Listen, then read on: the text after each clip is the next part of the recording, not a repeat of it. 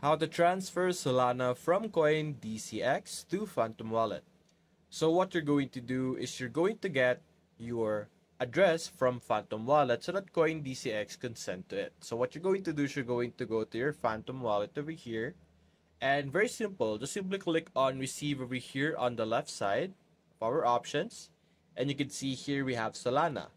So simply open your Solana over here.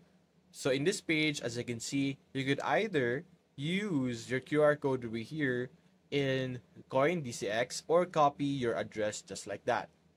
After that, you're simply going to now then visit your CoinDCX and there should be an option for you to be able to easily transfer or send your different cryptocurrencies from CoinDCX over here and just simply enter the address that you have gotten from your Phantom wallet to easily be able to send your Solana to the Phantom wallet.